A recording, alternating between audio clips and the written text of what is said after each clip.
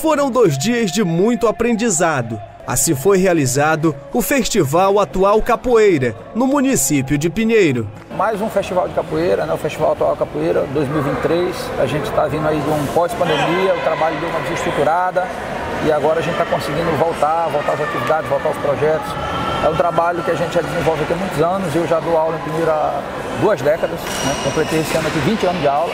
Muitas atrações o dia inteiro, como batizado, troca de corda, oficinas com mestre de corda, entre outros. A capoeira, como todo esporte, é de fundamental importância devido à sua é, é, vertente cultural, à sua questão esportiva, à sua questão intelectual, porque aborda a história, aborda o todo o conhecimento que é voltado para a cultura negra, para a cultura brasileira, pois essa é uma arte genuinamente afro-brasileira. Ela foi criada pelos negros, mas aqui no Brasil.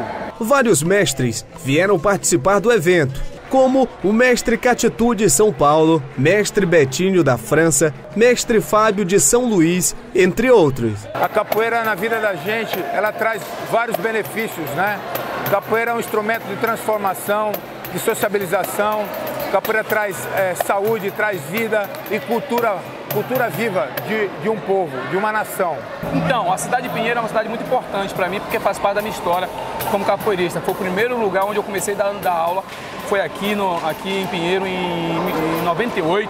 Então, toda vez que eu venho aqui, que eu vejo novas caras, ou seja, crianças, e os antigos, como o próprio Guto de Boião, o, Caveira, que está dando continuidade do trabalho, eu fico muito feliz e acho que tenho certeza que o que eu fiz no passado está tendo fruto agora.